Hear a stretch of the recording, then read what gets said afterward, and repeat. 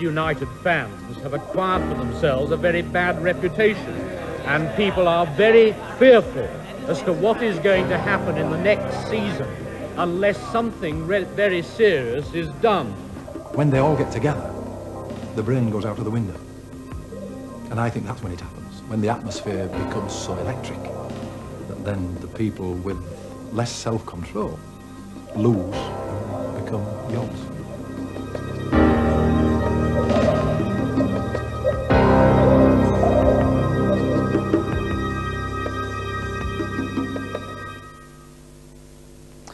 Home Secretary, David Waddington, and a senior police officer speaking this week after the violence which marred Leeds United's return to the First Division. Saturday should have been a day of celebration, United beating Bournemouth to win this Second Division Championship trophy. Instead, it will be remembered for all the wrong reasons. 120 arrests, 20 people injured and a damage bill yet to be fully assessed. What happened last weekend has been seen throughout the world. The Bournemouth police say there was a level of violence never witnessed before. So why is it that, once again, the worst forms of football hooliganism are connected with the club? Can anything more be done to stop it happening in the future? Later in the programme, the policeman in overall charge of crowd control in West Yorkshire, a former Home Secretary and local MP, and the club's chairman will be giving their views. But first, we've gained special access this week to the police intelligence units at both Bournemouth and West Yorkshire. The first of our two reports comes from Grant Mansfield in Bournemouth. The marauding mob called it the invasion of Bournemouth, not a pitch invasion, but an assault on the whole town.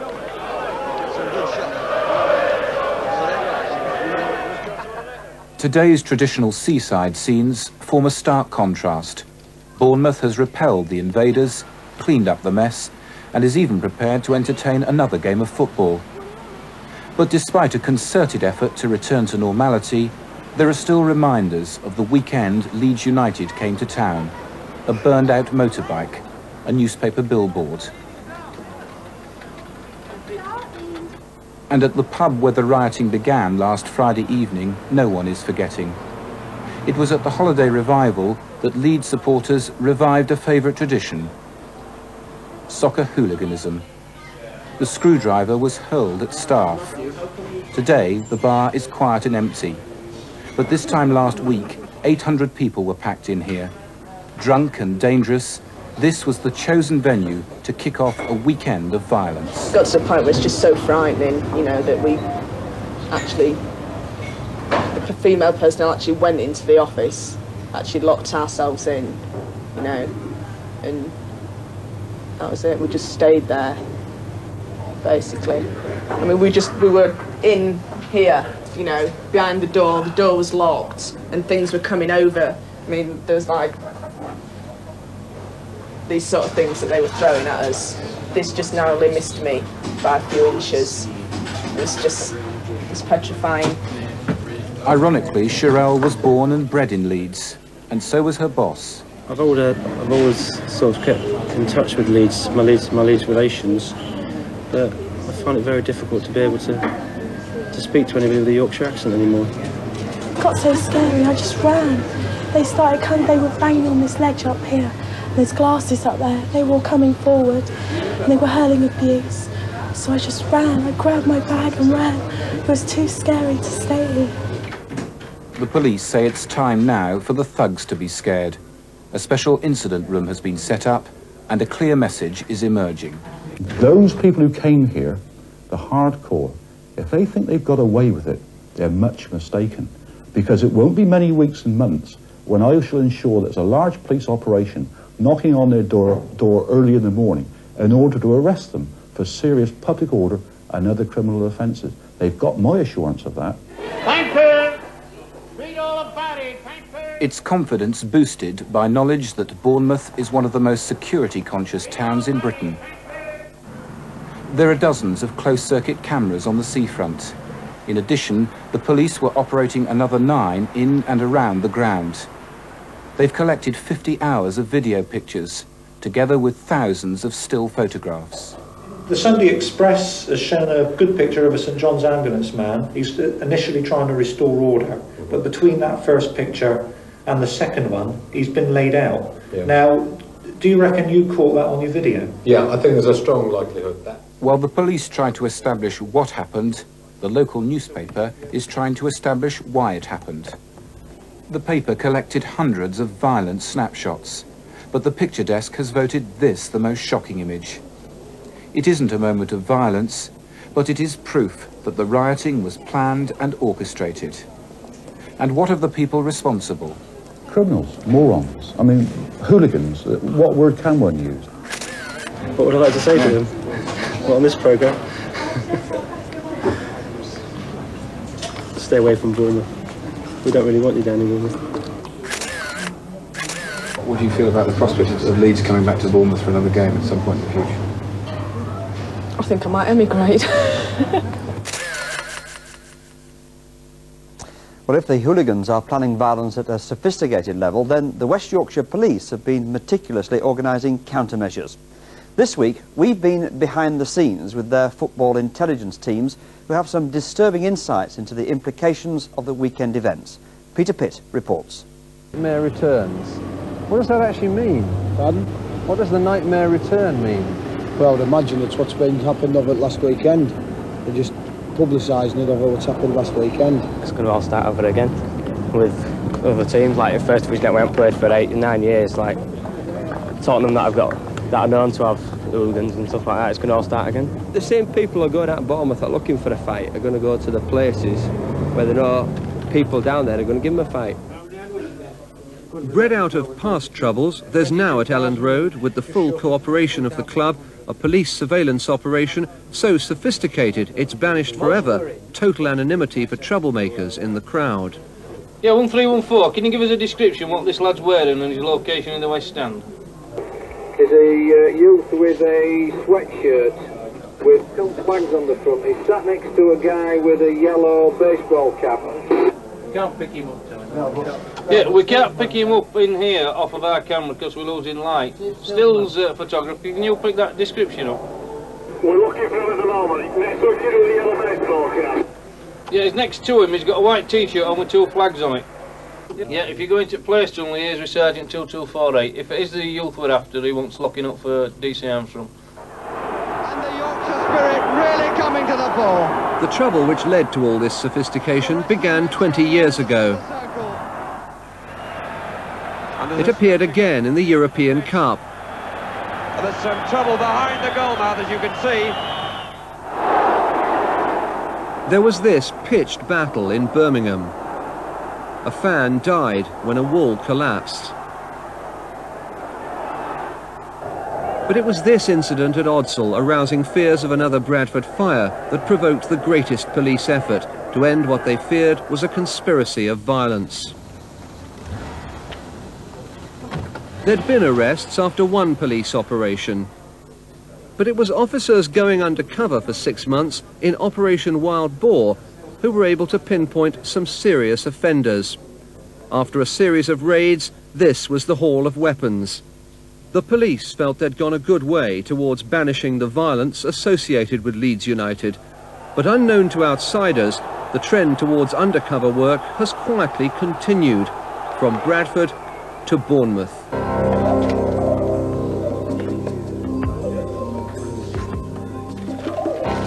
We've been inside the intelligence unit of West Yorkshire Police. We can't show you the faces of some of the people here. It would endanger their undercover work. Officers travel to Leeds matches, mingling with the crowd and accumulating a mass of information. Others take video pictures and stills photographs. This unit anticipated the Bournemouth trouble and a full team of spotters, undercover men and photographers led by this detective were at Bournemouth last weekend. The unit have some very worrying observations of the significance of events there. We saw the, um, the crowd throwing at the police, assaulting the police and, and constantly um, trying to, to force entry into the ground. The hooligan element who have been controlled all season by the police, both home and away, and the restrictions put on them by the club themselves, and the work that the club has done to try and prevent hooliganism, um, they have decided to show themselves in order that next season, when they come against the old rivals, they, they have established themselves as a force to be reckoned with. You saw people who you had seen before involved in trouble. Yes, definitely, definitely. We're talking about a yob culture. Uh, now, this is a group that's not easily identified. Uh, the police are positive in their ways of trying to identify them, and we'll continue with that. Are there people at the heart of this that you fear will be there to cause trouble next season? Well, yes, and you've got to look at the, the culture itself that's distinctly broken into three groups a very young group, a middle aged, uh, a middle young group, age group, and then an older group. So we're talking about a development here that youngsters are seeing as being attractive. Now we've got to stamp that out, we've got to stop that. And the only way of doing that is by deterrent and gathering intelligence and identifying these people. My personal feelings are, having been down to Leeds for 25 years, that yet again we're going to get the old, old wars starting again.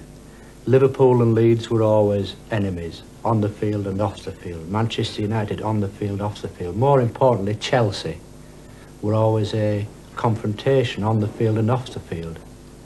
And I think that's the areas where we're going to get uh, the problems next year. The club too are looking ahead to next year. They say, and the police agree, that they've done everything in their power to prevent hooliganism. Alongside West Yorkshire Police, they've hired their own security teams who mingle with the crowds. This week, the Supporters Club banned provocative T-shirts. They have their own identity card scheme. They implored fans not to travel to Bournemouth without tickets. Well, really, they should stay at home, and um, you know, there's cinemas that are going to have it on, and the telly's going to have it on. Um, if they do go down there, which a lot, a lot probably will anyway, there's not going to be no stopping that. But you know, um, enjoy it down there. You know. Look at that. But some, nursing what they said were bruises from police batons, admitted there'd been many without tickets. They're lucky they hadn't. They give us 2,000 tickets, right? There's going to be 8,000 people without tickets. So what are you going to do? What are they going to do? They're going to get angry. Did you all have tickets who Yeah, went to yeah, Bournemouth? I- I didn't have one, but I was I meant mean, to have the, one the I get club down. and the club and everybody were pleading with people Yeah, I like know, you but not I to go meant- to I Bournemouth. was why they meant a went. ticket Because if you say there. don't go, they do. And it wasn't just Leeds, they were from No, I put it everywhere. to you. I mean, the club said Yeah, people know. like you don't go. But- so but weren't you letting your club down by going? No, going? not really. No, because because I was meant to have a ticket when I got down there. Somebody meant to have a ticket waiting for me when I got down there, and the lad never turned out with a ticket. If the problems become one of what to do with people who turn up without tickets, the intelligence units say that some police forces themselves must take a share of the responsibility. The police are to blame in certain areas of the country in as much as when there have been a lot of fans go without tickets to get rid of the problem on the streets, the public disorder problem, they've allowed them to go into the ground, sometimes without tickets, to get the problem off the streets. So if the idiots know that they can get into the ground by either purchasing a ticket at inflationary prices or by the police allowing them into the ground, they will continue to go. And we've got to bring our act together to stop the police allowing them in at any price without a ticket. What I want you to do, therefore, is to work as a team with a view to establishing the identities of the people who have caused all the mayhem down in Bournemouth. And that's really This group of Leeds detectives are meeting for the first time this week to look at their intelligence unit's videos. At the end of the briefing, we're going to go through the film again to try and identify any of the Leeds hooligans who we know were down there. As you know, uh, we have quite a number uh, in this division who are frequent attenders on the away matches. There's also the chance to assess how the fans at Bournemouth became involved in all the trouble. Particularly interested is the commander at the Leeds ground, Chief Superintendent David Clarkson, a veteran of public disorder from the Battle of Orgreave to the Toxteth and Chapeltown riots. I think that people set out with to meet their friends, their colleagues, their their fellow supporters at a football game in the Kop, in the east stand, in the south stand, it matters not where. And I think when they all get together, the brain goes out of the window. And I think that's when it happens, when the atmosphere becomes so electric that then the people with less self-control lose and become yobs. Among those arrested at Bournemouth was Adrian Wraith, a Dewsbury shop fitter. He admitted conduct likely to cause a breach of the peace and was bound over in the sum of £500 for two years. He'd travelled to Bournemouth without a ticket to join the celebrations. It may be the last time he joins his team.